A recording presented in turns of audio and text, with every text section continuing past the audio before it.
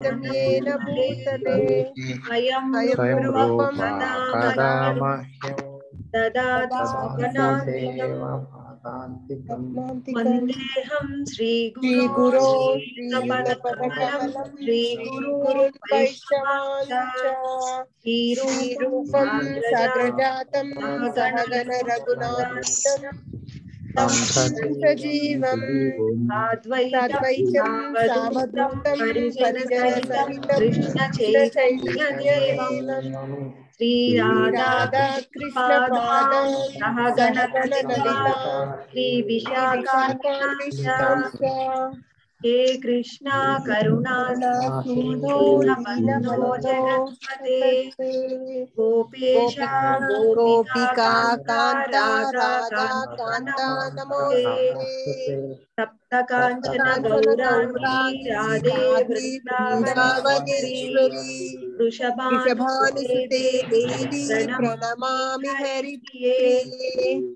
वाञ्छाकल्पतरुश्रेष्या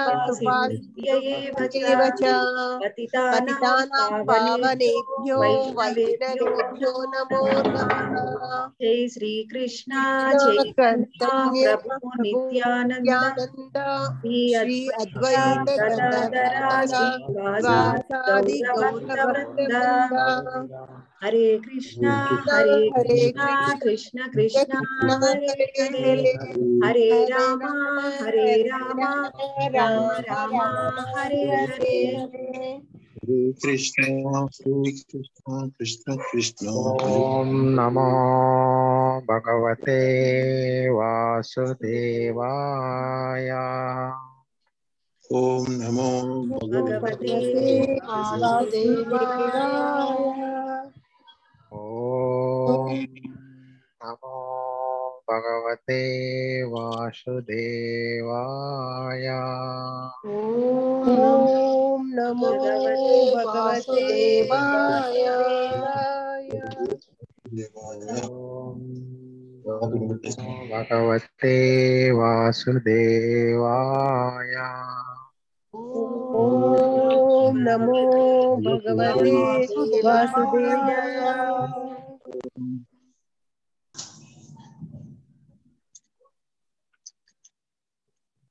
హరే కృష్ణ అండి అందరికి. హరే కృష్ణ. హరే కృష్ణ ప్రభుజీ. హరే కృష్ణ. హరే కృష్ణ మాతాజీ. మనము గత కొన్ని వారాలుగా భీష్మ స్థుతిని చర్చిస్తూ ఉన్నాము. ఆ లాస్ట్ వీక్ మనము భీష్మ స్థుతి సిచ్యువేషన్ ఏ విధంగా వచ్చింది? శ్రీకృష్ణ భగవానుడు ఏ విధంగా పాండవుల్ని భీష్ముడి దగ్గరికి తీసుకొచ్చారు? తర్వాత ధర్మరాజుకి శ్రీకృష్ణ భగవానుడు ధర్మ నియమాలని ఏ విధంగా రాజ్యపాలన చేయాలి? మళ్ళీ ఏ విధంగా ఒక రాజు ఉండాలి? స్త్రీ గురించి ఏ విధంగా ఆ స్త్రీ లక్షణాలు ఉండాలి? రాజధర్మం స్త్రీ ధర్మం ధర్మ నియమాలు అన్ని చర్చించాము. అవన్నీ అయిపోయే తన తర్వాత ఉత్తరాయణ పుణ్యకాలం సమీపించిందని భీష్మదేవుడు మాట్లాడడం మానేసి అంతర్ముఖుడయ్యి శ్రీకృష్ణ భగవాన్ని ప్రార్థిస్తూ ఉన్నారు.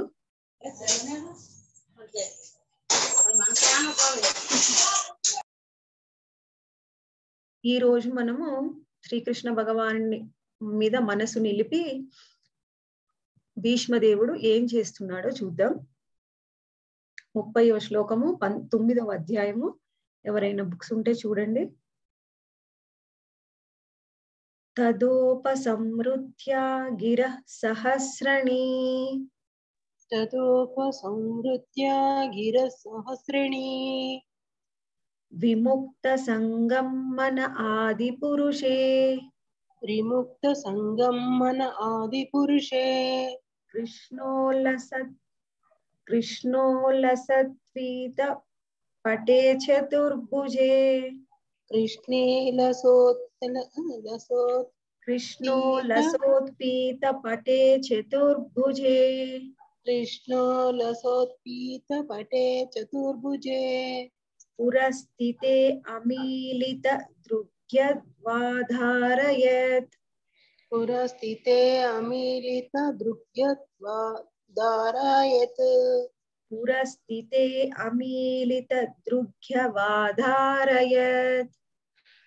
పురస్థితే అమీలిత దృగ్యా వారాద వారాయత్ వాధారయత్ వాధారయత్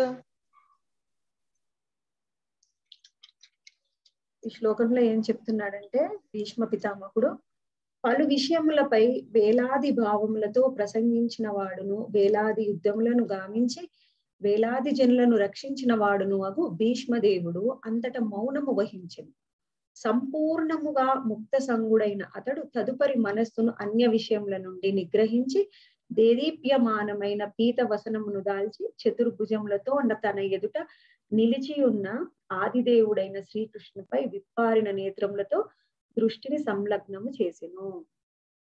ఇక్కడ చెప్తున్నారు ఎన్నో సంవత్సరాల నుంచి ఆయన రమారమి భీష్ముడి యొక్క వయసు నాలుగు వందల ఆ పైచీలుకు సంవత్సరాలని చెప్తారండి. కొంతమంది ఆచార్యులు సీనియర్ వైష్ణవాస్.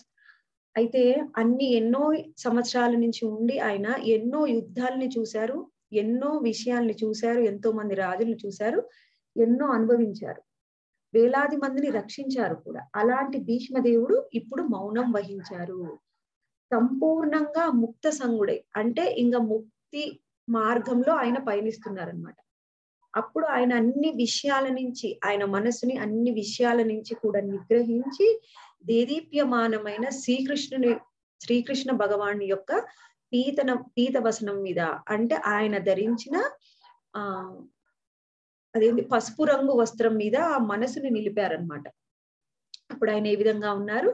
చతుర్భుజాలతో కూడి ఉండి చతుర్భుజాలతో కూడి ఉండి విప్పారిన నేత్రములను కలిగి ఉన్న శ్రీకృష్ణ భగవాన్ మీద మనసు నిలిపారు భీష్మదేవుడు అని ఇక్కడ మనకి చెప్తున్నారనమాట అయితే ఆయన ఏ విధంగా ఉన్నారు అంటే భీష్మదేవుడు మానవ జన్మ యొక్క అతి ముఖ్యమైన సమయంలో ఉన్నారు. ప్రతి మా మనిషి ఇప్పుడు మనం చేసే భక్తియుత సేవ మొత్తం ఎందుకండి?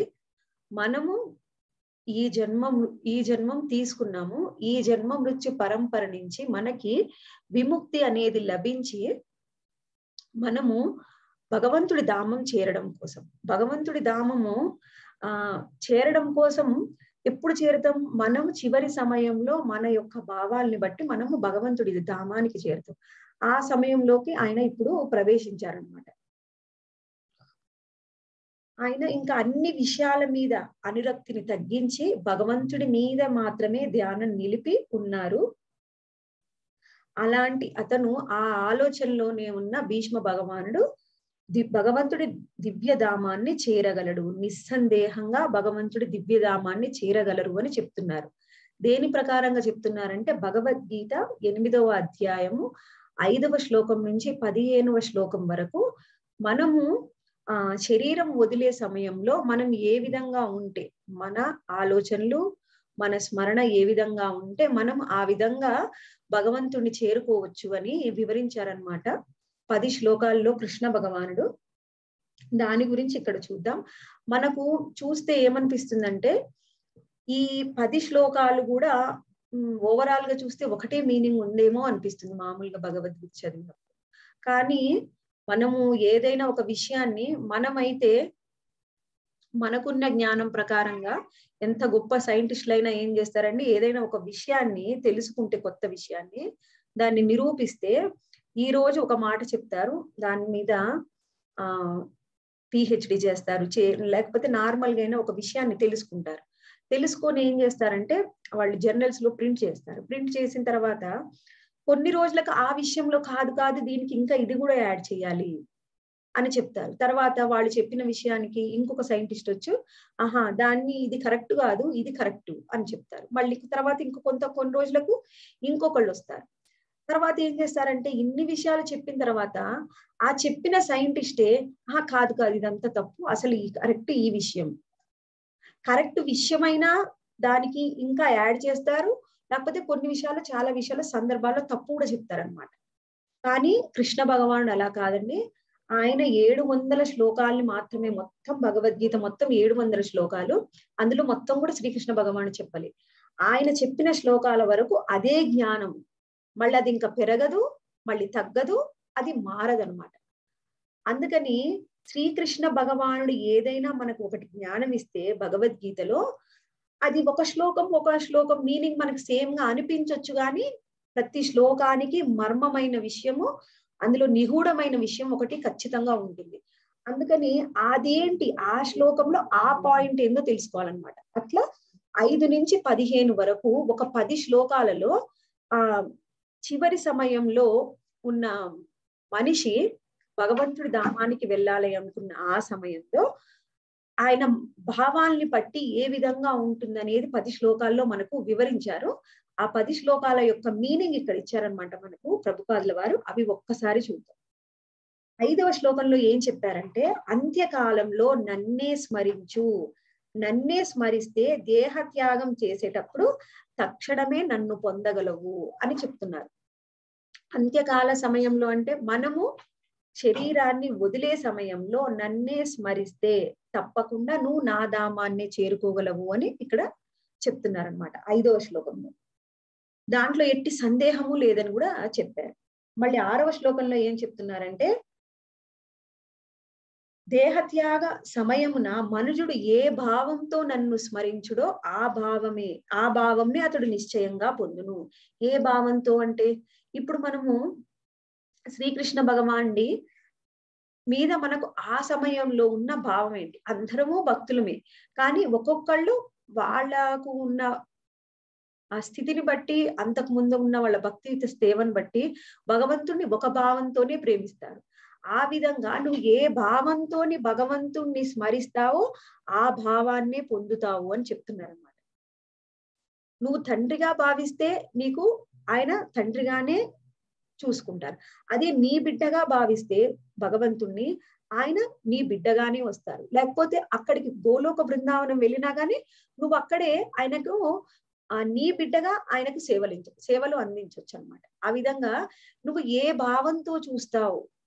ఒకవేళ భగవంతుని మీద ఏ భావము లేదు మనకి కానీ మన వాళ్ళ మీద ఏదైనా బాగుంది మనకు తెలిసిన మన రక్త సంబంధికులు కానీ మనకు తెలిసిన మిత్రులు కానీ శత్రువులు గాని వాళ్ళ మీద ఏదైనా బాగుంటే శత్రువుల మీద కోపంతో లేకపోతే మనకున్న రిలేటివ్స్ మీదనే మన కోపతాపాలతోని మనం ఏమైనా వెళ్ళినా అదే భావాన్ని మళ్ళీ నువ్వు పొందుతావు. మళ్ళీ అదే భావంతోని నువ్వు ఇంకొక జన్మ తీసుకుంటావు అదే భక్తులైతే భగవంతుణ్ణి నువ్వు ఏ భావంతోని స్మరిస్తావో అదే భావంతోని నీ నెక్స్ట్ జన్మైనా ఉండొచ్చు నీకు ఉన్నత లోకాలైనా భగవంతుడి ధామమైన. అది నీ స్థాయిని బట్టి ఉంటుంది. నెక్స్ట్ ఏడవ శ్లోకంలో ఏం చెప్పారంటే ఓ అర్జున సర్వకాల సర్వావస్థల్లో శ్రీకృష్ణ భగవానుడు అయిన ఈ రూపాన్నే నువ్వు స్మరించు. ఈ రూపాన్నే స్మరించి నువ్వు నీ విద్యుక్త ధర్మాన్ని చెయ్యి. నీ విద్యుక్త ధర్మం ఏంటిది? యుద్ధం చేయడం. నన్నే స్మరిస్తూ నువ్వు యుద్ధం చెయ్యి. యుద్ధం చేసేటప్పుడు నీ యుద్ధం నీ కర్మలు నువ్వు యుద్ధం చేసేటప్పుడు నువ్వు చేసే ప్రతి కర్మ కూడా నాకే అంకితం చెయ్యి. అప్పుడు నువ్వు ఆ విధంగా నీ కర్మను నువ్వు వనరించడం వలన నీ బుద్ధులు అన్నిటి కూడా నా మీదనే నిలుపు. అప్పుడు నీ మనస్థితి కూడా నా మీదనే ఉంచు. అప్పుడు నువ్వు తప్పకుండా నన్ను పొందగలవు అని చెప్తున్నారు. ఇక్కడ ఏంటి? ఇక్కడ ఏం అర్థం చేసుకోవచ్చు. అంటే ఈ శ్లోకంలో మనము చేసే కర్మలు మనం ఏదైనా ఒక కర్మ చేసినప్పుడు అది కర్మ అంటే పని. మనం ఆ పని చేసేటప్పుడు మన యొక్క మనస్థితి ఏ విధంగా ఉంది? దాన్ని బట్టే మనము భగవంతుణ్ణి పొందుతాం. ఇప్పుడు ఇప్పుడు మాట్లాడుతున్నాం మనం చర్చిస్తున్నాం. చర్చించేటప్పుడు ఈ ఈ శ్రీకృష్ణ భగవానుడు ఏం చెప్తున్నారు అనే విషయం కరెక్ట్గా నేను చెప్పగలనా లేదా? అది మంచిగా చెప్పాలి అనే భావంతోనే ఉంటే ఇది మంచిగా ఎక్స్ప్లెయిన్ చేయడానికి శక్తినిస్తారు. మళ్ళీ అందరికంటే బాగా చెప్పాలి అనుకుంటే ఆ విధంగా ఇస్తారనమాట లేదు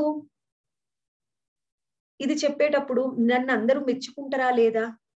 అంటే అక్కడ మన భావాన్ని బట్టి మనకు ఇచ్చేది ఉంటది అనమాట ఆ సమయంలో అర్జునుడు యుద్ధం చేసేటప్పుడు నేను యుద్ధం చేసేది భగవంతుడి కోసమని ఆయన చెప్పారు కాబట్టి చేస్తున్నా అని. ఆయన చేసే ప్రతి కర్మలో ఇప్పుడు యుద్ధంలో ప్రతి ఒక్క రోజు ఒక్కొక్క ఫలితం లభిస్తుంది ఆయన ఆ ఫలితాన్ని కూడా భగవంతుడికే సమర్పించాలన్నమాట. అప్పుడు నీకుండే ఫలి అప్పుడు నీకు ఉండేది వేరు. లేదు నాకు పేరు ప్రఖ్యాతులు రావాలి నేను ఈ రోజు యుద్ధంలో ఇంతమందిని సంహరించిన అనే పేరు రావాలని నేను ఈ రోజు చెప్తున్నప్పుడు అందరు నన్ను మెచ్చుకోవాలని ఆ విధంగా చెప్తే అది రజోగుణమైన ఆలోచన అవుతుంది అనమాట ఆ విధంగానే మన కర్మఫలం ఉంటుంది. మనము భగవంతుణ్ణి తలుచుకుంటూ మన కర్మ ఫలాన్ని ఆయనకే సమర్పిస్తూ గనక మన కర్మని చేస్తే మనము తప్పకుండా భగవంతుణ్ణి చేరుకోవచ్చు అని చెప్తున్నాడు అంటే ఏం చెప్తున్నాడు ఈ శ్లోకంలో? నువ్వు ఏమీ చెయ్యకపోయినా నీ భక్తియుత సేవ కేవలం నన్ను సమ స్మరించుకుంటూ నువ్వు ఏ కర్మ అయినా చేసినా గాని నువ్వు నీ కర్మలోనే నన్ను చూసినా గాని నువ్వు నన్ను పొందగలవు. ఏ ధ్యానము ఏ స్మరణము ఏ జపము ఏ తపము లేకుండా కేవలం స్మరణ ద్వారానే భగవంతుణ్ణి స్మరిస్తూ నువ్వు ప్రతి కర్మ చేస్తే నువ్వు చే ప్రతిరోజు చేసే ప్రతి కర్మ ఆయన్ని స్మరించుకుంటూ చేసినా మిగిలిన ఏది చేయకపోయినా ఆయన్ని చేరగలము అని ఇక్కడ చెప్తున్నారు అనమాట ఈ శ్లోకంలో. మనము ఇది అలా చెప్పొచ్చు కానీ ఇది చాలా కష్టమైన పని. ప్రతి దాంట్లో మనం ఆయన్ని స్మరించాలి అంటే మనం మిగిలిన టైంలో ఆయన్ని స్మరించే స్థాయికి రావాలి. ఆయన్ని స్మరించే స్థాయికి ఏ విధంగా వస్తాం? ఆయన లీలల్ని వింటే ఆయన నామస్మరణ చేస్తేనే ఆ స్థాయికి రాగలం అనమాట లేకపోయినా మేము స్మరిస్తాము ప్రతి క్షణము అంటే అలాంటి వాళ్ళకు కూడా భగవంతుడు ముక్తినిస్తారు అని చెప్తున్నాడు ఇక్కడ. ఆయన భగవంతుడి మాట ద్వారా చెప్తున్నారు. ఇది ఎవరో వేరే వాళ్ళు చెప్పింది కదండి. ఇక్కడ శ్రీకృష్ణ భగవాని మాటలు. నువ్వు చేసే ప్రతి కర్మలో నన్నే చూడు. నీ మనోబుద్ధులను నా ఎందు నిలుపు. అంటే నీ మనస్సుని నీ బుద్ధిని నా మీద నిలుపు. అప్పుడు అసంశయంగా అంటే సంశయం లేకుండా నన్ను చేరుకోగలవు అని ఇక్కడ శ్రీకృష్ణ భగవాన్ చెప్పారు ఏడవ శ్లోకంలో. ఇప్పుడు ఎనిమిదవ శ్లోకంలో ఏం చెప్తున్నారో చూద్దాం.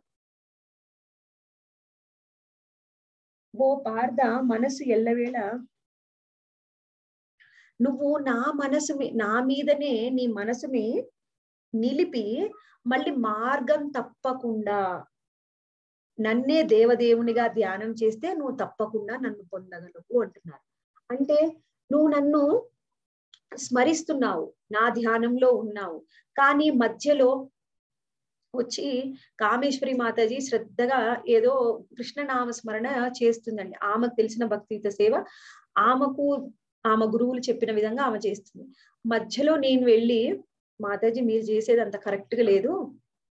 నేను మొన్ననే ధ్యానం క్లాస్కి వెళ్ళాను. ధ్యానం క్లాస్ ఎంత బాగా చెప్పారో వాళ్ళు మనము కాసేపు కళ్ళు మూసుకొని ధ్యానం చేస్తే భగవంతుడు మనకు కనిపిస్తాడు. మళ్ళీ మనకు మన ముందు ఉన్న వాళ్ళ వాళ్ళ మనసులో ఏముందో మనకు అర్థమవుతుంది. వాళ్ళ ఫ్యూచర్ ప్రజెంట్ పాస్ట్ మనకు అర్థమవుతుంది అని చెప్పాను అనుకోండి ఆమా అవునా? ఇదేందో బాగా చెప్తుంది కదా ఈ మాతాజీ. ఒకసారి అక్కడికి వెళ్ళి చూద్దాం. అలా డైవర్ట్ కాకూడదు అనమాట డైవర్షన్ అనేది ఉండకూడదు. ఇంకా ఎంత గొప్పది ఏదైనా కానీ మనము శ్రీకృష్ణ భగవానుడే దేవాది దేవుడు అని నమ్మి ఆయన స్మరణలోనే నిరంతరం ఉంటూ హండ్రెడ్ పర్సెంట్ ఫోకస్ ఆయన మీదనే ఉండాలన్నమాట. మన గురి అనేది అటు ఇటు పక్కకు తప్పకూడదు. ఆ విధంగా నువ్వు ఆయన మీదనే ఫోకస్ పెట్టి నువ్వు నీ మార్గం తప్పకుండా కనుక నువ్వు స్మరించుకుంటూ నీ ధ్యానం ఆయన మీదనే ఉంచితే తప్పకుండా నన్ను పొందగలవు అని అక్కడ చెప్తున్నారనమాట కృష్ణ భగవాన్. ఎనిమిదవ శ్లోకంలో. అందుకని మనము ఏం చేసినా గాని మార్గం తప్పకుండా ఆ మనం కృష్ణ భగవాన్ మీదనే మన ఫోకస్ ఉండాలి. నెక్స్ట్ తొమ్మిదవ శ్లోకంలో ఏం చెప్తున్నారంటే నియమించువాడును అన్నిటిని నియమించేవాడు ఆయనే. అంటే ఈ సృష్టి స్థితి లయాలను అన్నిటిని చేసేవాడు ఆయనే అన్నమాట. నియామకుడు పరమ నియామకుడు. అన్నిటినీ అందరినీ నియమిస్తున్నాడు. అన్ని స్థితిగతుల్ని కూడా. ఇంకా ఆయన సూక్ష్మం కన్నా సూక్ష్మమైన వాడు ఏ విధంగా? ఆత్మ ఎట్లా ఉంటుందండి? ఆత్మ అంటే పరమాత్మ యొక్క ఒక అంశ.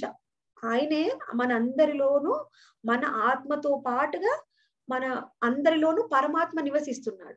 అంటే ఆయన ఎంత చిన్నగా ఉన్నాడంటే వెంట్రుకలో పదివేలో వంతు అనమాట సూక్ష్మం కన్నా సూక్ష్మమైన వాడు సమస్తమును పోషించువాడు. ఇప్పుడు అన్నిటిని నియమించాడు చెప్పుకున్నాము ఇప్పుడు అన్నిటిని పోషిస్తున్నాడు అనమాట అందరినీ పోషించే పరమ పోషకుడు కూడా ఆయనే.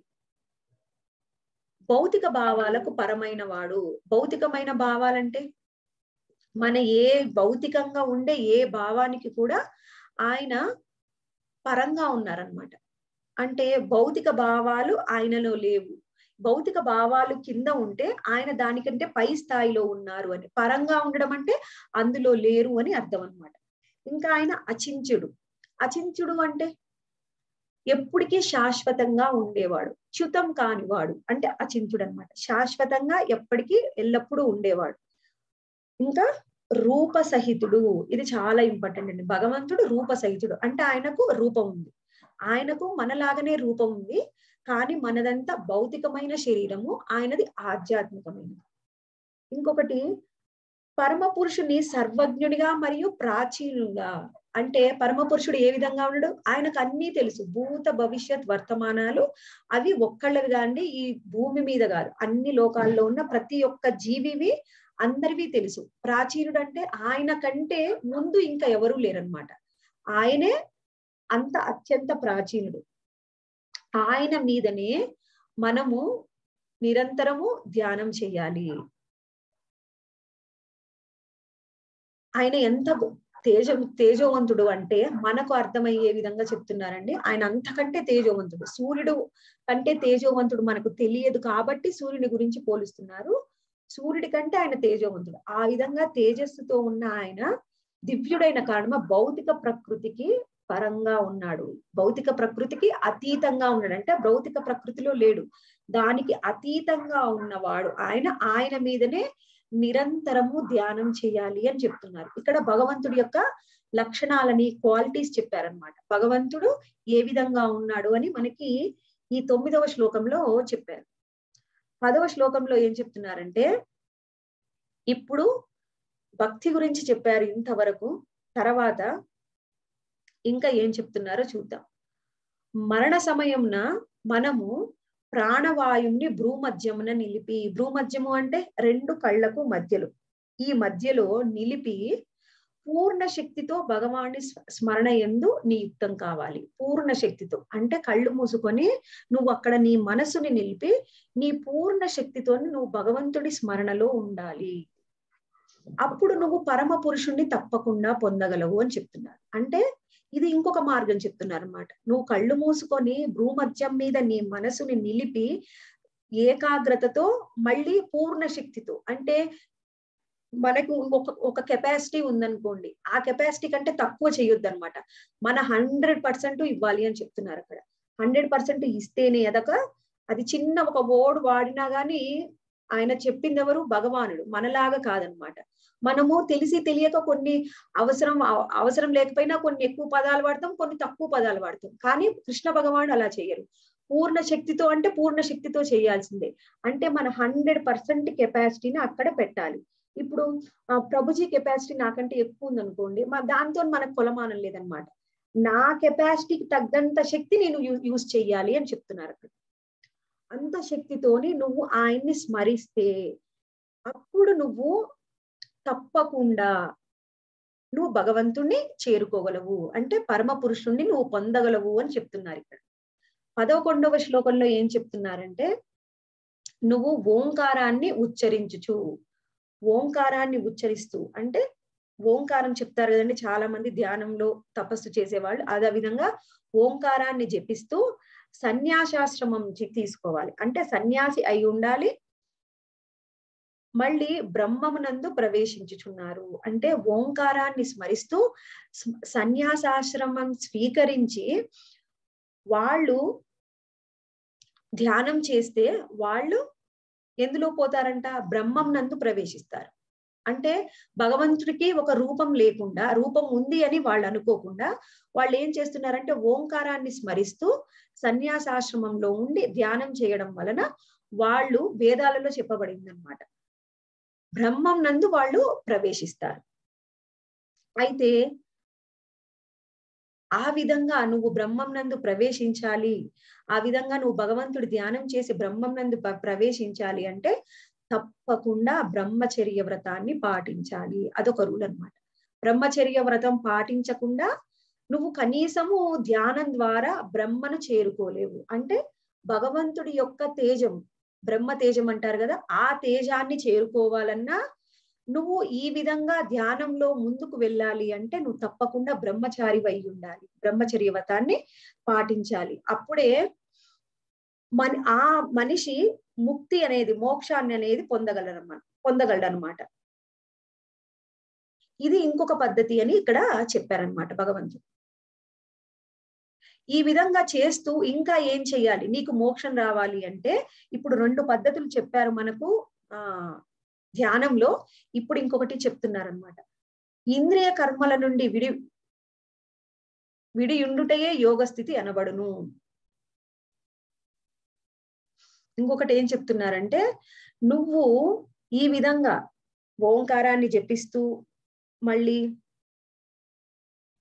సన్యాసాశ్రమంలో ఉండు బ్రహ్మచర్య వ్రతం పాటిస్తూ ఉండాలి ఖచ్చితంగా.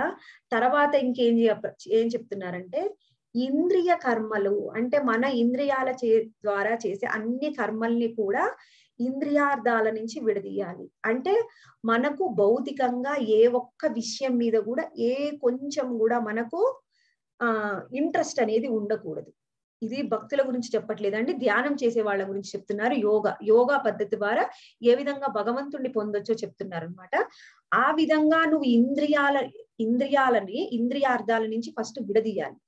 విడదీసిన తర్వాత సర్వేంద్రియ ద్వారాలను మూసివేయాలి. అంటే మనకు ఇంద్రియ ద్వారాలు ఉన్నాయి కదండి. మన ప్రతి ఇంద్రియ ద్వారాన్ని కూడా ఫస్ట్ మూసేయాలి. మూసి వేసిన తర్వాత నీ మనస్సుని నీ హృదయంలందు సంలగ్నం చేసి హృదయంలో సంలగ్నం చేసి అంటే హృదయంలో స్థిరం చేసి హృదయంలో మనము భగవంతుడు ఉన్నాడు అనుకొని స్థిరం చేసి అంటే ఇక్కడ భగవంతుడు ఆకారం లేదు అనుకున్న వాళ్ళైనా సరే భగవ అక్కడ వాళ్ళ మనసుని హృదయంలోనే స్థిరం చేయాలి. చేసి ప్రాణవాయువుని శీర్షాగ్రమునందు స్థితిని కలిగిన పిమ్మట నందు నిలిపి మనుజుడు యోగమునందు స్థితుడు కాగలడు. అంటే యోగంలో స్థితుడు కావాలని చెప్తున్నారంటే ప్రాణవాయువు. మనం గాలి తీసుకుంటాం కదండి శీర్ష అగ్రభాగంలో. శీర్షము అంటే తల అగ్రభాగము అంటే పైన.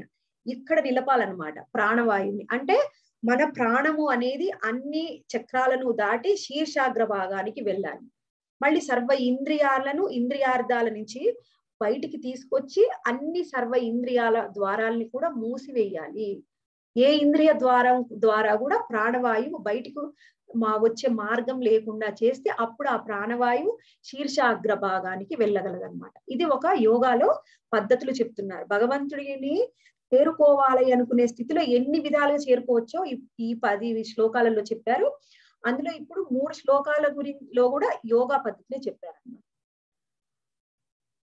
పదమూడవ శ్లోకంలో యోగాభ్యాసం నందు స్థితి కలిగిన పిమ్మట అక్షరముల దివ్య కలయిచ ఏర్పడిన ఓంకారంను జపించాలి. అంటే ఓంకారం ఏ విధంగా వచ్చింది? అన్ని అక్షరాల అక్షరాలకు మూలం అంటే ఒక ధ్వనికి మూలమే ఓంకారం అనమాట అన్నిటికి మూలమైన ఆ ఓంకారాన్ని నువ్వు జపిస్తూ ఉండాలి. జపిస్తూ దేవదేవుని తలుచుచూ శరీరం విడనాడేవాడు నిశ్చయంగా ఆధ్యాత్మిక లోకంలో పొందగలడు. అప్పుడు కూడా నువ్వు దేవదేవుణ్ణి స్మరిస్తూ నీ శరీరాన్ని విడిస్తే నువ్వు ఆధ్యాత్మిక లోకాలని పొందగలవు. అంటే భగవంతుడి ధామాన్ని కానీ భగవంతుడిని కానీ చేరుకుంటావు అని ఇక్కడ చెప్పలేదండి. ఇక్కడ ఏం చెప్తున్నారంటే ఆధ్యాత్మిక లోకాల్ని మాత్రం పొందగలము. అంటే బ్రహ్మాన్ని చేరుకోవచ్చు బ్రహ్మ తేజంలోకి వెళ్ళొచ్చు ఆధ్యాత్మిక లోకాల్లోకి వెళ్ళొచ్చు. భౌతిక లోకాల్లో ఉండకుండా ఆధ్యాత్మిక లోకాలకి చేరుకోవచ్చు ఈ యోగా పద్ధతి ద్వారా కానీ భగవంతుని మాత్రము చేరుకోలేమన్నమాట. ఇంకా ఏం చెప్తున్నారంటే పద్నాలుగో శ్లోకంలో ఓ పార్థ అచంచలమైన మనస్సుతో నన్ను సదా స్మరించువాడు నా భక్తియుత సేవలో నిమగ్నమైనందున నన్ను స్ముల సులభంగా పొందగలడు. ఈ పద్నాలుగో శ్లోకంలో ఏం చెప్తున్నారు? అచంచలమైన మనస్సుతో సదా నన్నే స్మరిస్తే నా భక్తియుత సేవలో నిమగ్నమైతే నన్ను నన్ను సులభంగా పొందగలరు అనమాట ఇందాక చెప్పిందేమో చాలా కష్టమైన పద్ధతి. మళ్ళీ ఆయన అందులో కూడా మనం భగవంతుణ్ణి చేరుకోలేమన్నమాట. కానీ ఇక్కడ ఈజీ మెథడ్ చెప్పారనమాట నువ్వు నన్నే దేవాది దేవుడిగా నువ్వు నీ మనసులో నిలుపుకొని సదా నన్నే స్మరిస్తే నువ్వు ఖచ్చితంగా నన్ను చేరగలవు. నా నా నా మీదనే నీ మనసును నిరంతరము సంలగ్నం చేసి ఉంచు. అప్పుడు నన్ను నువ్వు సులభంగా పొందగలవు అని ఈ పద్నాలుగో శ్లోకంలో చెప్పారు. ఇంకా పదిహేనో శ్లోకంలో కృష్ణ భగవాన్ ఏం చెప్తున్నారంటే భక్తి యోగులైన మహాత్ములు నన్ను పొందిన పిమ్మట అత్యున్నత పూర్ణమును బడిచిన వారగుడిచే దుఃఖాలయమైన ఈ అనిత్య జగమునకు ఎన్నడూ తిరిగిరారు. ఇంకేం చెప్పారు? ఆ విధంగా భగవంతుడి యొక్క నిత్య ఆ సేవకులమైన మనము భగవంతుడి భక్తియుత సేవలో నిమగ్నమై ఉండి ఉంటే ఆ భక్తులు అత్యున్నత పూర్ణత్వ స్థితిని వాళ్ళు పొందగలుగుతారు. వాళ్ళు దుఃఖాలయమైన ఈ అనిత్య జగములకు ఇంకా తిరిగిరారు. అంటే ఈ జగానికి ఇంకా తిరిగిరారు. ఈ భౌతికమైన ఏ లోకాలకి కూడా ఇంకా ఎప్పటికీ తిరిగి అనమాట అంటే ఇంతకు ముందు యోగా పద్ధతిలో చెప్పిన దాని ద్వారా మనము ఆధ్యాత్మిక లోకాలని చేరుకున్నా గాని మళ్ళీ మనము తిరిగి వస్తాం ఒకానొక సమయంలో అని అక్కడ అర్థం అనమాట కానీ నువ్వు భక్తి యోగంలో వెళ్తే మాత్రం ఇంక ఎప్పటికీ కూడా ఈ భౌతిక లోకాలకి తిరిగి రావాల్సిన అవసరం లేదు అన్నమాట.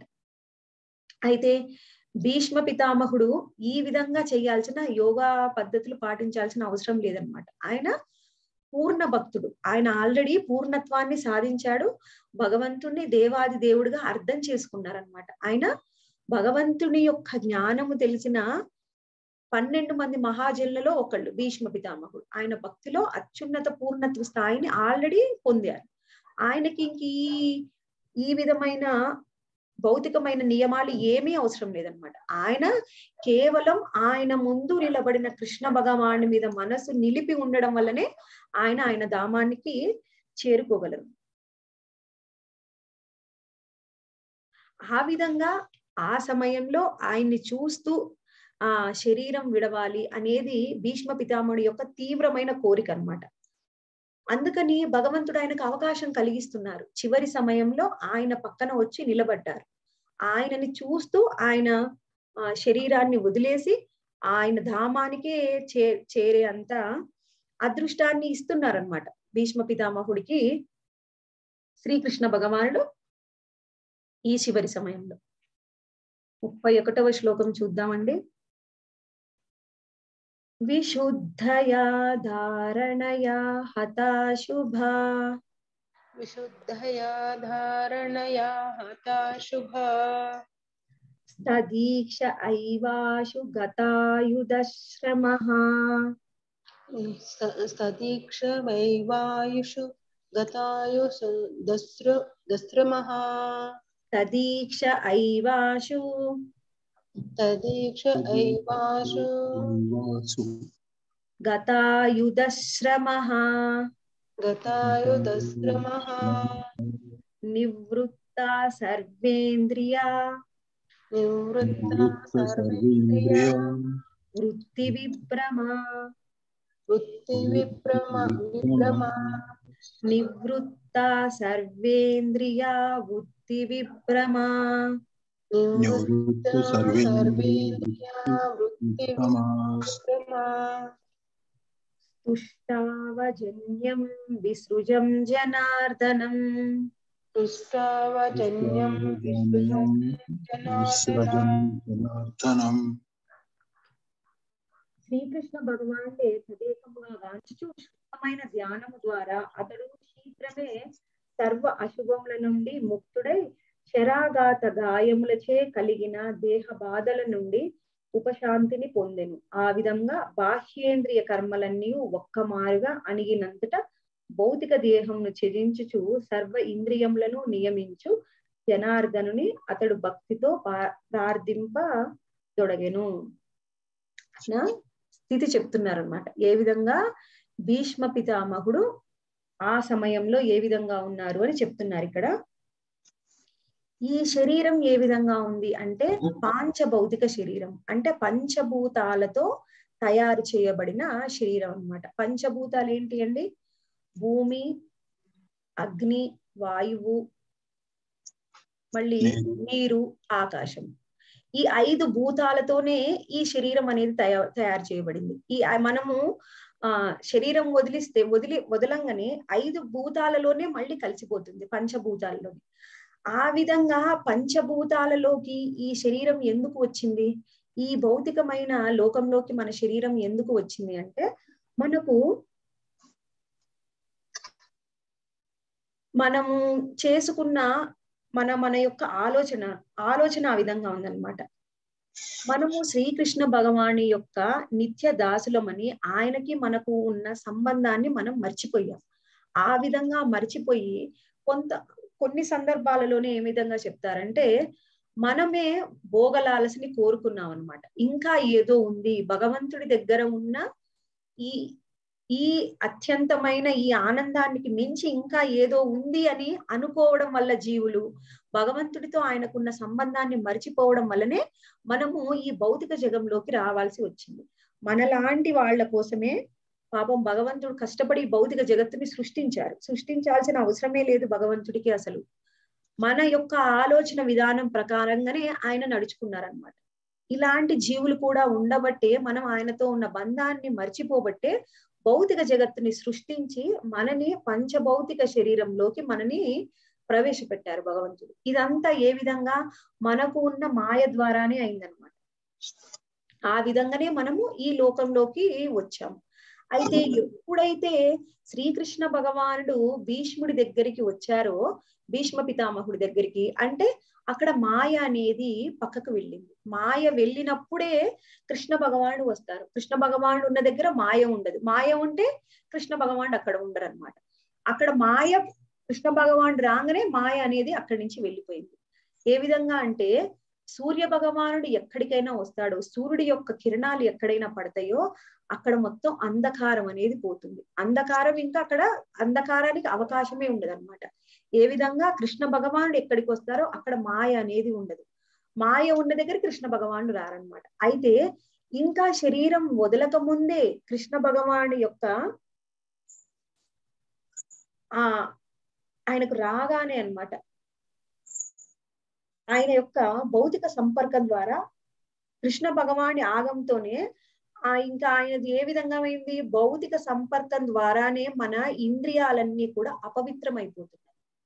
యాక్చువల్గా అయితే ఆత్మ పవిత్రమైనది ఇంద్రియాలు కూడా పవిత్రమైనది ఎప్పుడైతే ఈ మాయ వలన ఈ భౌతిక సంపర్కంతో ఈ భౌతిక జగత్తులోకి మన ఇంద్రియాలు ప్రవేశిస్తాయో అప్పుడు మాత్రమే అవన్నీ కూడా అపవిత్రం అయిపోతాయి దానికి అన్ని కల్మషాలు కూడా అంటుకుంటాయి అవి అసంపూర్ణమైతాయి అనమాట పూర్ణత్వం ఉండవు.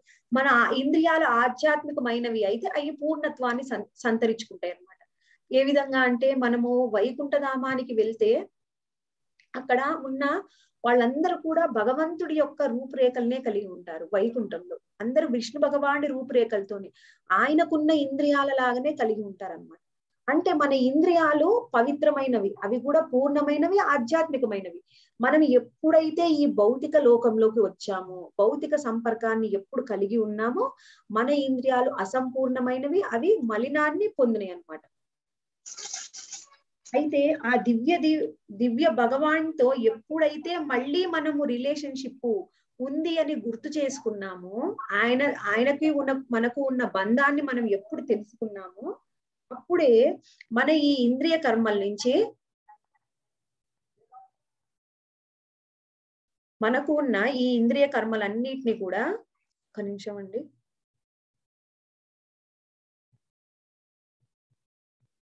అన్నిటి నుంచి కూడా మనము ముక్తిని పొందగలిగినము. అప్పుడు భీష్ అయితే ఏ విధంగా ఉన్నాడు? భీష్మ పితామహుడి స్థితి ఏ విధంగా ఉంది? ఆయన శరీరం విడిస్తే మనకు అప్పుడు తెలుస్తుంది అనమాట ఎవరికైనా ఎప్పుడైతే శరీరాన్ని వదిలి పెడతారో వాళ్ళకు మాత్రమే అర్థం అవుతుంది ఆ ఆత్మకు అప్పుడు తెలుస్తుంది. ఆత్మకు అప్పుడు దివ్యత్వం వస్తుంది. ఒక ఆత్మకు కూడా ఇంద్రియాలు అనేవి అప్పుడు వస్తే అవన్నీ కూడా సంపూర్ణంగా ఉంటాయి అన్నమాట. కానీ ఇక్కడ శ్రీకృష్ణ భగవానుడు మనమైతే శరీరం వదిలేస్తే మనకు అర్హత ఉంటే అప్పుడు భగవంతుడి దర్శనం కలుగుతుంది. కానీ ఈయన పరమ భక్తుడు కాబట్టి ఆయనకు శరీరం వదలక ముందే కృష్ణ భగవానుడు వచ్చి ఆయనకి చతుర్భుజ రూపంలో ఆయనకు అక్కడ దర్శనమిస్తున్నారు. దర్శనమిస్తున్నప్పుడు అందుకని ఆయన ఇంద్రియాలన్నీ అప్పుడే పరమ పవిత్రమైనవి అనమాట పరమ పవిత్రమై ఆయనకు దివ్య స్థితి అనేది లభించింది. ఆ శరీరానికి ఇప్పుడు ఆ భౌతికమైన శరీరం కాదనమాట ఆల్రెడీ దివ్య స్థితి అనేది ఆయన శరీరానికి వచ్చింది. అప్పటి వరకు ఆయన బాణాలన్నీ ప్రతి ఒక్క శరీర భాగంలో అది గుచ్చుకొని ఉన్నాయి అనమాట అందుకని అది ఆ బాధనైనా భరిస్తూ కూడా ఇంతవరకు మనతోనే అన్ని ధర్మ నియమాల్ని ధర్మరాజుకి చెప్పారు.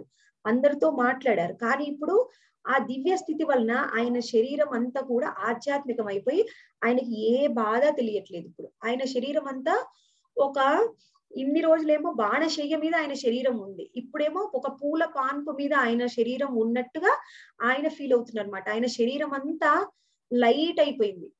అయిపోయి ఏ బాధ లేకుండా దివ్యమైన స్థితిలోకి ఆయన ఆత్మ శరీరం రెండు వెళ్ళాయి అనమాట ఆ పరమ దివ్యానందాన్ని అప్పుడు భీష్మ పితామహుడు అనుభవిస్తున్నారు. అది ఏ విధంగా సాధ్యమైంది అంటే శ్రీకృష్ణ భగవాని యొక్క దర్శనము ఆ చతుర్భుజ నారాయణగా అప్పుడు ఆయనకి చూపిస్తున్నారు. ఆ విధమైన దివ్య స్థితిని ఆయన పొందారు. ఎందుకు? ఆయనకు ఆ దివ్య స్థితిని ఏ విధంగా ఇవ్వగలిగారు భగవంతుడా అంటే ఆయనే సర్వజీవులకు నియామకుడు.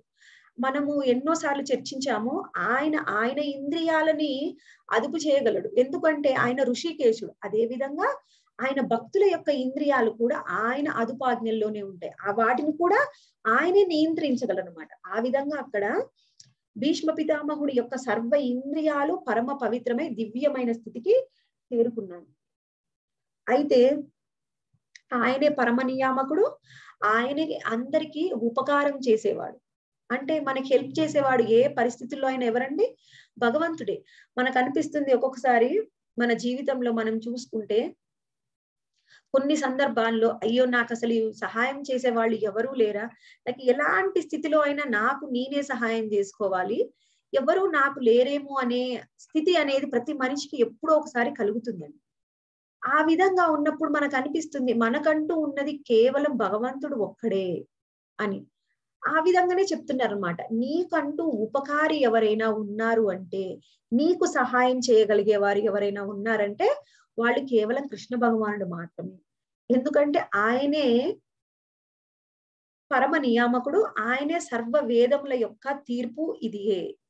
ఆయనే ఉపకారి అనేది మనకు చెప్తున్నారు. సర్వ వేదాలలోంచి మనము సారం తీసుకుంటే అన్ని వేదాల సారం కూడా ఆయనే అనమాట ఆయనే నియామకుడు ఆయనే మనకు ఉపకారి ఆయనే దేవాది దేవుడు అని.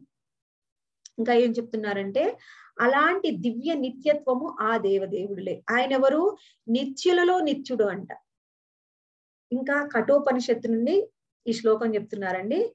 నిత్యో నిత్యానాం చేతనశ్చేతానాం ఏకో బహూనాం యో విదదాతి కామాన్. అంటే నిత్యులలో నిత్యుడు. నిత్యమైనది ఏంటిది? మన ఆత్మ. భగవంతుడి వచ్చిన వచ్చిన అన్ని ఆత్మలు నిత్యమైనవి. అవి ఏవి పురాతనమైనవి కావన్నమాట. అన్ని నిత్య నూతనంగా ఎప్పటికీ ఆ విధంగానే ఉంటాయి. ఆ నిత్య నూతనంగా ఉండే ఆత్మలలోనే కూడా నిత్యమైన వాడివి నువ్వే అని చెప్తున్నారు. చేతన చేతనాం.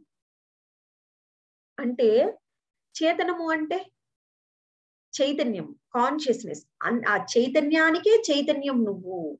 అంటే మనకు ఉన్న ఈ చైతన్యం ఎక్కడి నుంచి వచ్చిందండి? భగవంతుడి చైతన్యం నుంచి వచ్చిందనమాట అందుకనే మనకున్న చైతన్యానికే చైతన్యానికి నువ్వు. ఏకో బహునాం. నువ్వు ఒక్కడే కానీ అందరిలోనూ నువ్వే ఉన్నావు. ఒక్కడివే అయినా కానీ అన్నిట్లో నువ్వే ఉన్నావు అనేది ఈ విషయాన్ని మనకి కఠోపనిషత్తు నుంచి చెప్పారనమాట అందుకని అన్ని సర్వజీవులకు సమస్తమును సమకూర్చువాడవు నువ్వే అని ఇక్కడ చెప్తున్నారన్నమాట. ఆ విధంగా భీష్ముడి యొక్క దివ్యమైన కోరికలను పూర్ణత్వం చేయడానికి సమస్త అవకాశాల్ని భగవంతుడు ఆ విజ ఆ విష ఆ సమయంలో ఆయనకి చే ఆ సమకూరుస్తూ ఉన్నారు. ఆయన ఆయన్ని దర్శించుకొని ఆయన ధామానికి వెళ్ళడానికి అన్ని అవకాశాలను అక్కడ ఇస్తున్నారనమాట ఆ విధంగా భగవంతుణ్ణి దర్శించుకున్న భీష్మ పితామహుడు ఇప్పుడు ఏం చెప్తున్నారు భగవంతుణ్ణి చూసి అనేది మనం ఒకసారి చూద్దాం. ఇది మధురుపకల్పిత వితృష్ణ. ఇది మధురుపకల్పిత వితృష్ణ. ఇది మధురుపకల్పిత వితృష్ణ.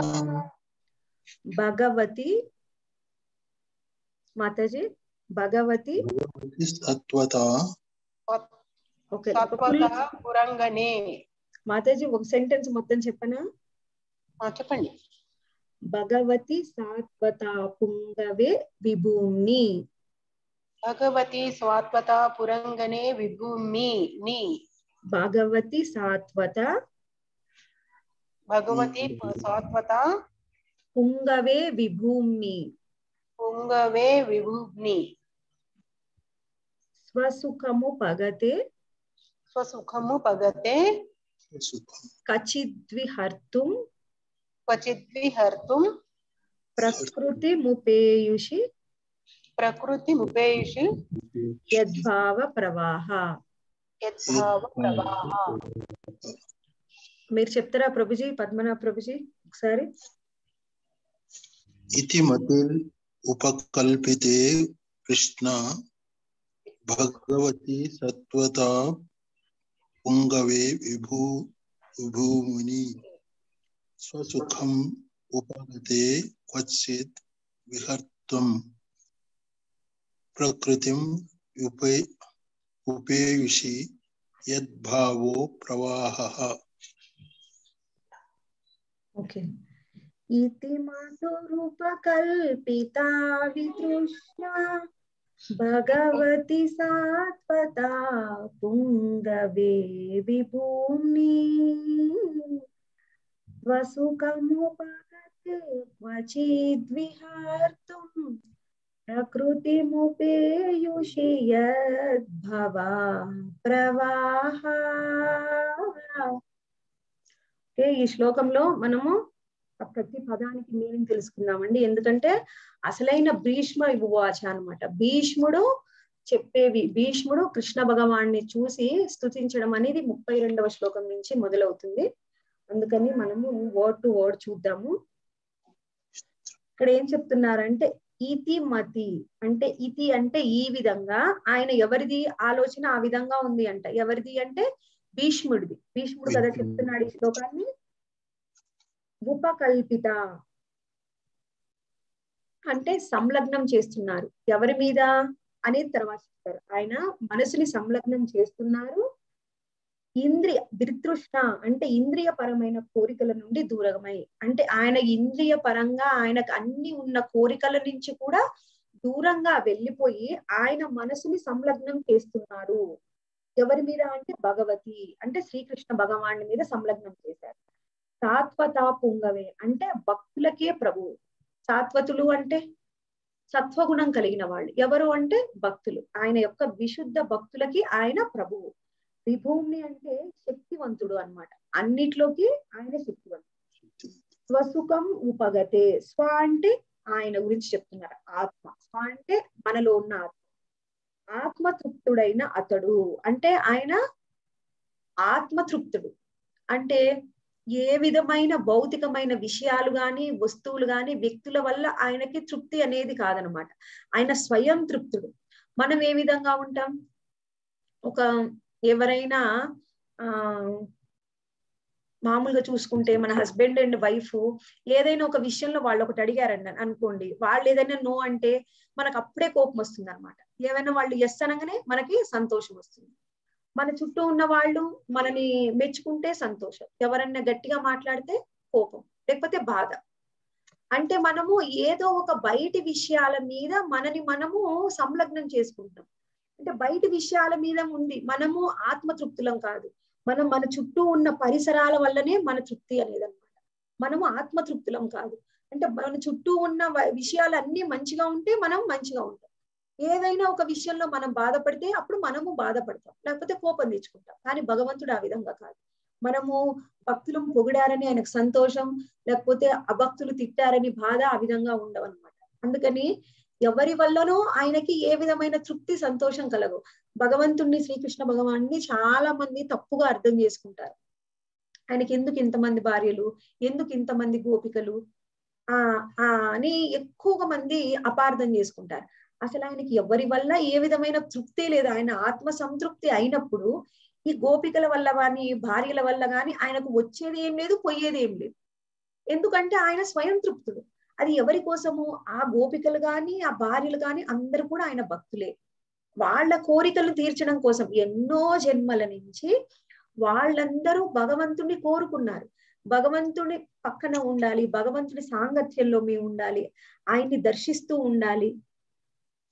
అని ఎంత దగ్గరగా వాళ్ళని వాళ్ళు కోరుకున్నారో అదే విధం అనమాట అది మనం ఇందాక చూసాం కదా శ్లోకంలో నువ్వు శరీరం వదిలేసేటప్పుడు నువ్వు ఏ విధమైన భావాన్ని ఆ లో స్మరిస్తావో ఆ భావాన్నే పొందుతావు అని చెప్పారు. ఆ విధంగా స్మరించారు వాళ్ళు భగవంతుణ్ణి అందుకని ఆ విధంగా పొందారనమాట వాళ్ళ యొక్క భక్తియుత సేవని పట్టి ఆ విధంగా పొందారు.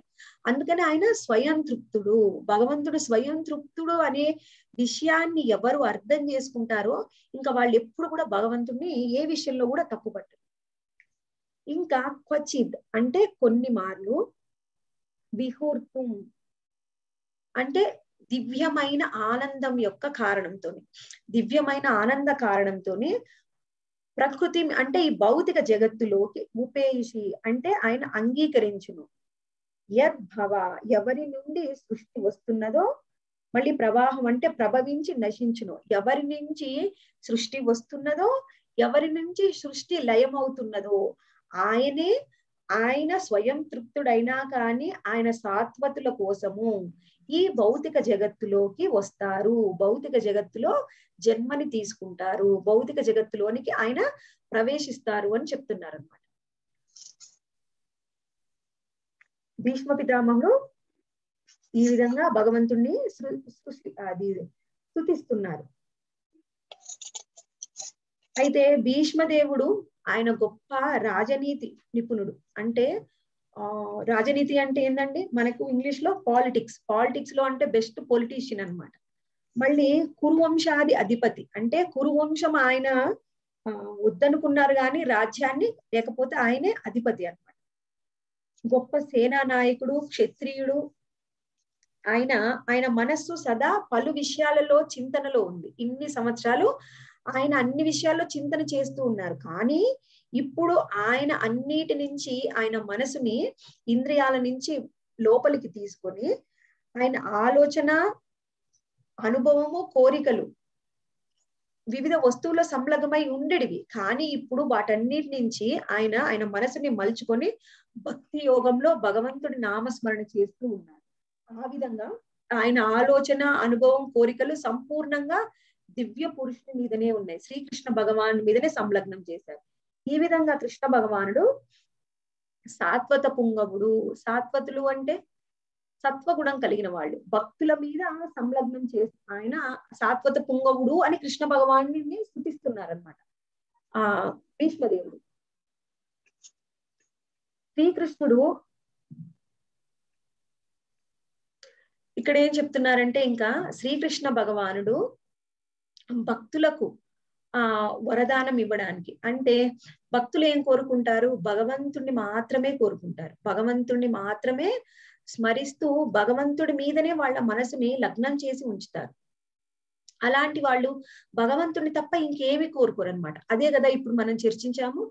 ఆ విధంగా భగవంతుణ్ణి మాత్రమే కోరుకునే ఆయన పరమ భక్తుల కోసము ఆయనకి ఈ భూమి మీదకి వచ్చారు.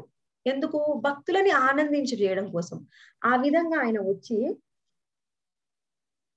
కొన్నిసార్లేమో ఆయన భగవంతుడి యొక్క రూపంలో వస్తారు. కొన్నిసార్లేమో భగవంతుడి యొక్క గొప్పతాన్ని గొప్పతనాన్ని భగవంతుడి భక్తి ఏ విధంగా ఉంటుంది భగవంతుడిని ఏ విధంగా స్మరించాలి కీర్తించాలి అని మనకు చెప్పే యొక్క అవతారము చైతన్య మహాప్రభు అనమాట కొన్నిసార్లు కృష్ణ భగవానుడిగా కొన్నిసార్లు చైతన్య మహాప్రభువుగా ఆయన జన్మని తీసుకుంటారు. జన్మ అంటే ఆయన అవతారం అనమాట అవతారాన్ని తీసుకుంటారు ఈ భూమి మీద. అలాంటి శుద్ధ భక్తులు ఆయన అక్కడ తీసుకునేది ఎందుకండి? శుద్ధ భక్తుల యొక్క కోరిక తీర్చడం. ఏంటి దాని వాళ్ళ కోరిక? భగవంతుడి భక్తియుత సేవ చేయడం. భగవంతుడి సేవ చెయ్యాలి అని వాళ్ళ కోరికల్ని తీర్చడం కోసమే ఆయన ఈ భూమి మీద ఆ ఆయన అవతారాన్ని తీసుకుంటారు అయితే ఇలాంటి శుద్ధ భక్తులని వాళ్ళ మనసుని వాళ్ళ ఇంద్రియాలని అన్నిటిని కూడా భగవంతుడే ఆ పరమ నియామకుడు ఆయనే కంట్రోల్ చేస్తారు అని ఇందాక మనం చర్చించాం. అయితే భగవద్గీత టెన్ పాయింట్ టెన్ శ్లోకంలో చెప్తున్నారు. ఎవరి ఎవరి ఇంద్రియాలలోకి ఎవరి మనసులోకి వచ్చి ఆయన ఉపదేశాలు ఇస్తారు? ఎవరికి భక్తియుక్త సేవ చేసే అవకాశం ఇస్తారు? అంటే ఎవరైతే భక్తులో వాళ్ళకు మాత్రమే వాళ్ళ మనసులోంచి మాయని తీసేసి ఆ భగవంతుడి యొక్క ప్రేమని జాగృతం అయ్యే విధంగా చేస్తారు. ఎవరైతే అభక్తులు అంటే అభక్తుల మీద ఆయన కొంచెము ఆ ఏ భావము అంటే ఇప్పుడు మనం చూస్తే ఒక రాజ్యంలో ఇప్పుడు మంచి పౌరులకి కూడా మళ్ళీ చోరులు దుండగులు అది వాళ్ళకు కూడా రాజు అనే వాళ్ళు ప్రభువుగా ఉంటారన్నమాట. మీరు మంచి వాళ్ళకి కాబట్టి మీకు ప్రభువుని మీరు చెడ్డ వాళ్ళైతే నేను మీకు ప్రభువుగా ఉండను అని రాజు ఎప్పుడు చెప్పడు. ఆ విధంగానే కూడా భగవంతుడు కూడా ఏం చేస్తాడంటే ఆయన అందరికీ ప్రభువు. భక్తులకి అభక్తులకి కూడా. కానీ ఆ విధమైన అభక్తులకి ఆయన ఏ విధమైన భగవంతుడిని చేరే మార్గంలో ఏ విధమైన ఉప ఉపదేశాలు ఇవ్వరనమాట వాళ్ళ మీద కొంచెం ఉపేక్షా భావాన్ని చూపిస్తారు. ఎందుకంటే వాళ్ళు కోరుకోవట్లేదు. వాళ్ళు ఏ విధంగా ఉండాలి అనుకుంటున్నారో వాళ్ళ పూర్తి స్వతంత్రాన్ని భగవంతుడు ఇచ్చారనమాట వాళ్ళ మీద ఉపేక్షా భావము అంటే వాళ్ళ మనసులో ఏ విధమైన భగవంతుడి మీద ఆ కోరికలు ఆయన భక్తియుత సేవ చేయాలని కానీ వాళ్ళ మనసులో ఏ విధమైన ఉపదేశాలని కూడా ఇవ్వరు.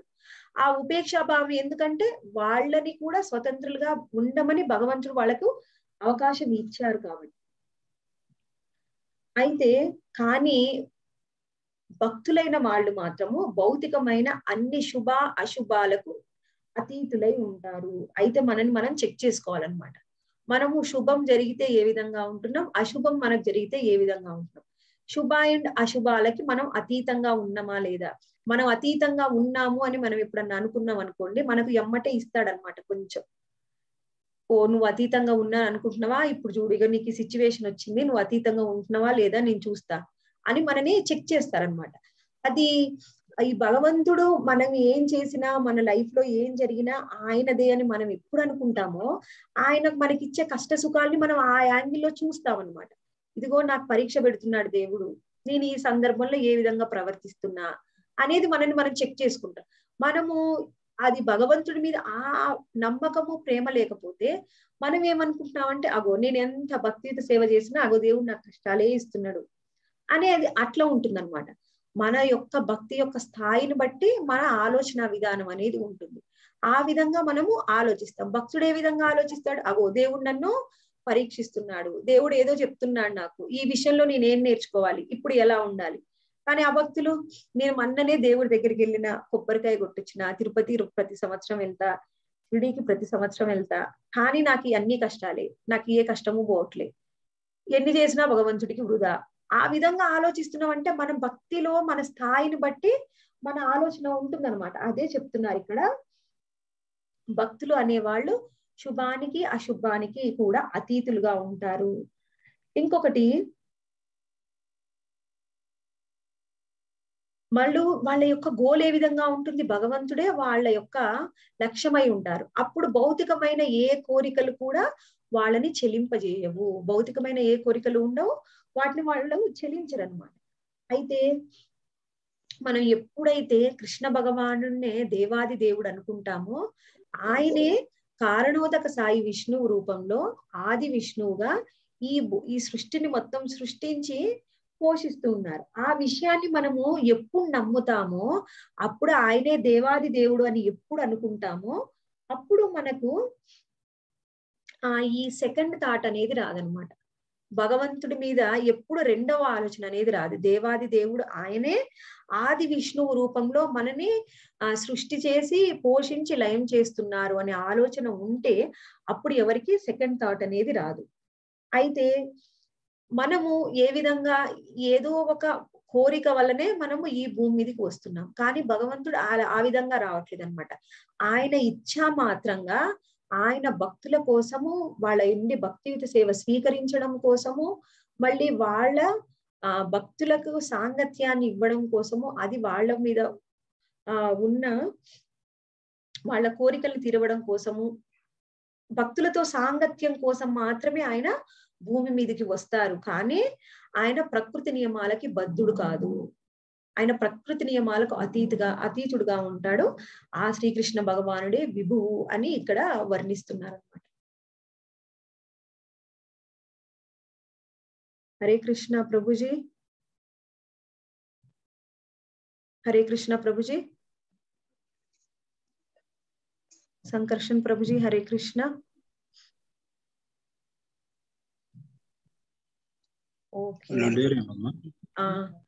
Hare Krishna five twenty four అయింది ప్రభుజీ. మాతాజీ? ఫైవ్ ట్వంటీ ఫోర్ అయింది ప్రభుజీ. ఇంకో శ్లోకం తీసుకోమంటారా వద్దంటారా?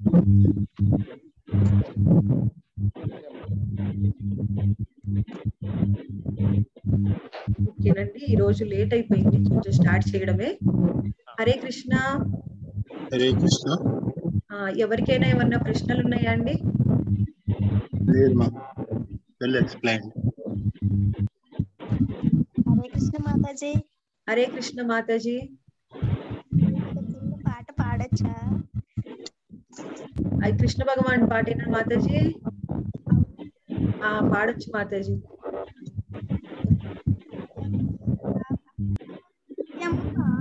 చేయుచునుండండి. భగవంతుని సాయుధ్యము పొందడి. బాటను మీరు గనరండి. భగవద్గీతను నమ్మిన వారికి భవసాగరము సున్నండి. భక్తితో గీతను పఠనము చేసిన భవరోగములు లేవండి. స్థూల దేహము వీడుచున్నతరి స్థూల దృష్టిని విడువండి. సూక్ష్మ దృష్టిలో సుమృతాత్మను చూడగీ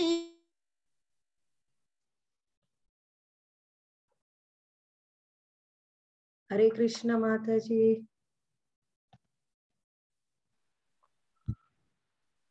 హరే కృష్ణ మాతాజీ. ఆ బాగా పాడారు మాతాజీ. చాలా బాగుంది మీ పాట. హరే హరే కృష్ణ మాతాజీ. మాతాజీ చెప్పండి. బాగుంది మాతాజీ మీ పాట. ఇంకా పూర్తి అవ్వలేదు. మీరు హరే కృష్ణ అన్నారని ఇంకా రెండు మాతాజీ? వినపడలేదు మాకు మధ్యలో అందుకని అన్నాను. ఇంకో రెండు చరణాలు ఉంది. చదవమంటారా? ఆ చదవండి మాతాజీ. దేహము బీడుచున్న తరి స్థూల దృష్టిని విడువండి. సూక్ష్మ దృష్టిలో సుమృతాత్మను చూడగ గీతను తలచండి. బాల్య కౌమారములను బాధలు పోవగ చూడండి. పాలభాగమున గీతామూర్తిని బాగుగా ధ్యానము చేయండి. దేహ పోషణ చేయుచునుండిన దేహ భ్రాంతియు పోదండి. దేహ పోషణతో ఆత్మ పోషణ చేయుచు భ్రాంతిని విడువండి. కృష్ణ మందిరము చేరిన భక్తులు కృష్ణుని వాక్యము నమ్మండి. గీత ప్రచారక ప్రజ్ఞానందుని గీతాబోధను వినరండి. భగవద్గీత పఠనము నిత్యము వాగుగా చేయుచునుండండి. భగవంతుని సాయుధ్యము పొందిడి బాటను మీరు గనరండి. హరే కృష్ణండి. హరే